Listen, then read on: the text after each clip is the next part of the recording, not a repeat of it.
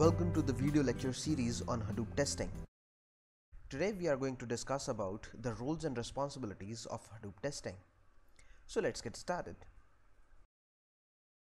As a Hadoop tester, you are responsible to understand the requirements and according to the requirements, prepare the testing estimations, plan the test cases, get some test data to test the test cases, involved with the test bed creation, executing the test plans, defect reporting, defect retesting, daily status reporting, and test completion. The first thing that we are going to discuss about is test strategy. Once we have a proposed solution to our problem, we need to go ahead and plan or strategize our testing plan. We may discuss about the automation strategy that we may use in there we may discuss about or plan about the testing schedule that depends upon our delivery dates. We may discuss and plan about the resource planning.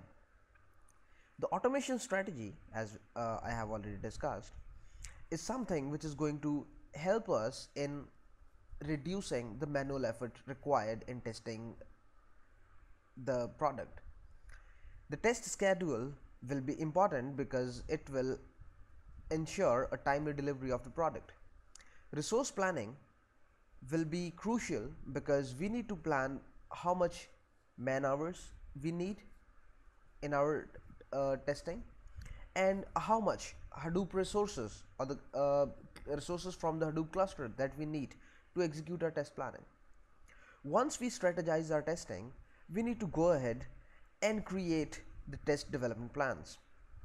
That includes creating test plans, creating test scripts which will help us automate our testing and also identify some testing data which is going to be used in the test plans and help us execute that, those test plans.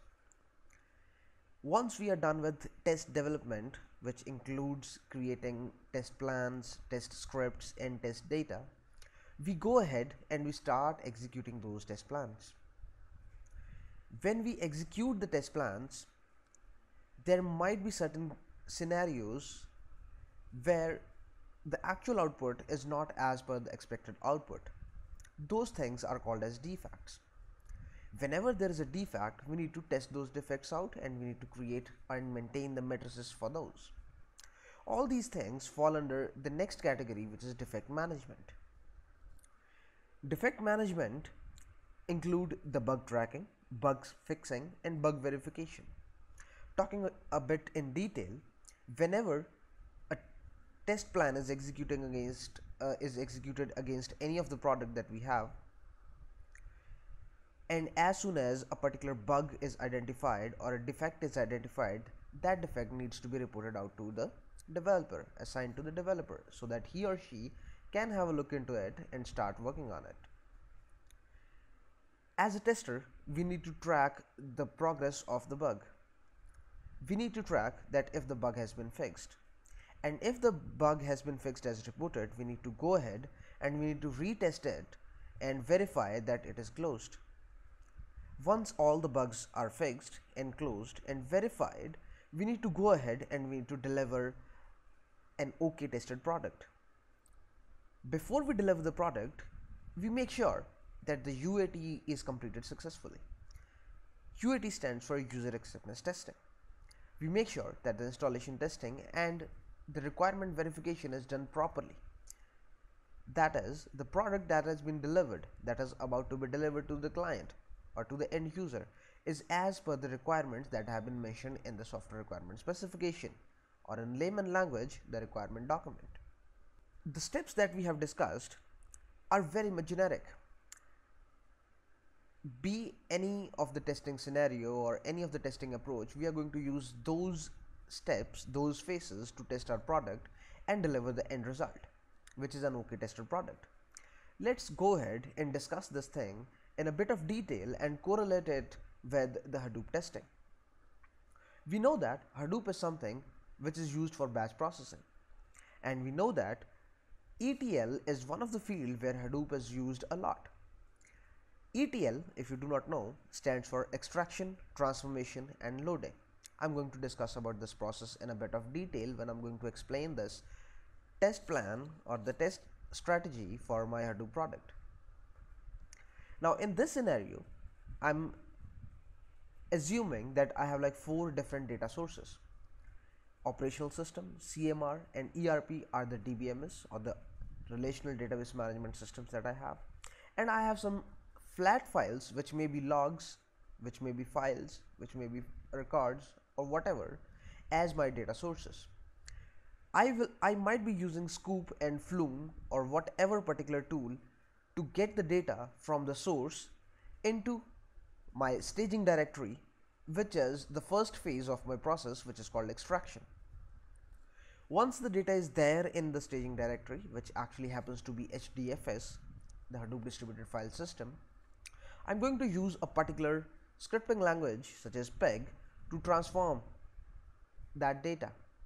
That transformation will be according to the requirement that I have. Once the data is transformed accordingly using whatever scripting technology that I have, I will be loading that data into the warehouse. From the warehouse, that data will be used for OLAP analysis, reporting, data mining or for analytics. Let's go ahead and discuss about that on all which all phases I can use the Hadoop testing. The first phase will be the extraction phase. In the extraction phase, I'm going to get the data from my source databases or from flat files. In that case, what I can do is I can verify that all the data has been copied successfully and correctly from source to the staging directory. That may include verifying the number of records, the type of the records, the type of the fields, etc. Once this data is copied to the staging directory, I will go ahead and I will trigger the second phase which is transformation. In transformation, I will have some business logic which will act on the copied data from the source systems and will actually create or transform the data into the required business logic. Transformation may include sorting the data, filtering the data, joining the data from two different data sources, and certain other operations. Once the data is transformed, I will go ahead and I will have test plans ready, which we are going to discuss in our subsequent videos, and we are going to check that we are getting the output as expected, that all the outputs that we are getting are meeting the expected output, and the data types the field values, the ranges, etc. are something which are falling in place. Once it is correct, we can go ahead and we can load the data into the warehouse. Once again, we have this third phase, which is the loading phase, where we can actually check that the number of records from the stage and to the warehouse are in sync. They might not be similar, but they are supposed to be in sync. The type of the data which has been transformed is in sync and post that we will be using that data for OLAP analysis, reporting and data mining. And these are the I'll say that the last layer of, of, of our product and in that case we can have uh, subsequent or you can say that uh, test plans available for all these layers. Whenever we get some data from the source into destination we always need to make sure that only authenticated persons have the authorized access to the data. Now, what do we mean by both these terms? To understand this thing, let's get the things in perspective and jump back to the previous slide.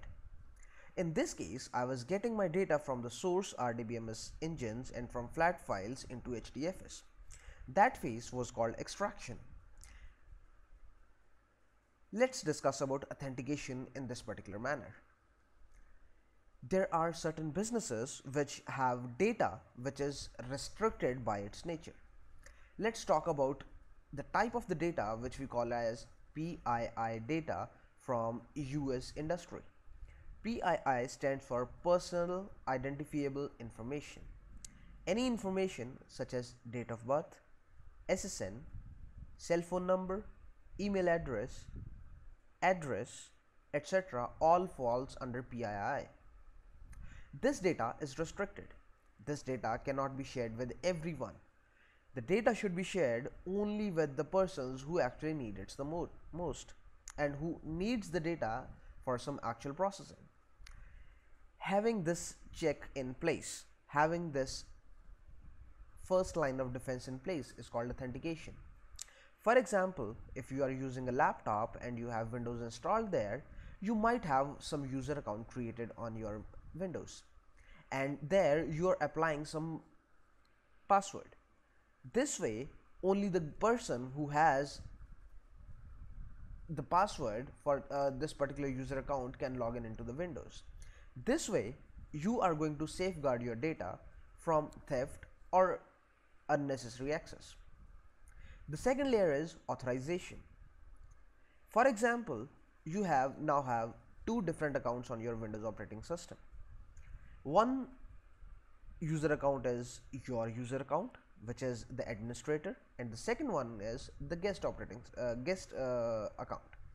The administrator has the right or the authorization to do every kind of operation say installing the software, removing the software, creating new files, deleting the existing files, etc.